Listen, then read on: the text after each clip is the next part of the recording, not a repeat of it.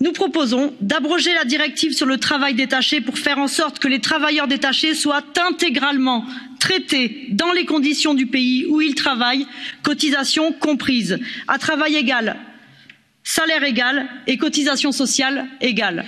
aujourd'hui s'ouvre le procès de terra fecundis cette entreprise qui est basée en espagne a envoyé des milliers de travailleurs ramasser des fruits et des légumes dans le sud de la france elle est jugée aujourd'hui pour travail dissimulé.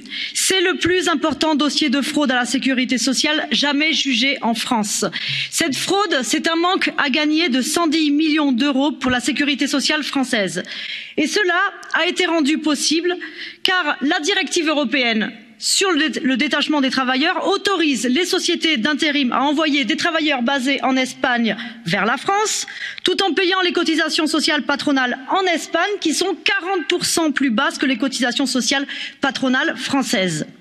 ce système vide les caisses publiques des états et crée du dumping social. c'est pourquoi nous proposons d'abroger la directive sur le travail détaché pour faire en sorte que les travailleurs détachés soient intégralement traités dans les conditions du pays où ils travaillent cotisations comprises à travail égal salaire égal et cotisations sociales égales. merci.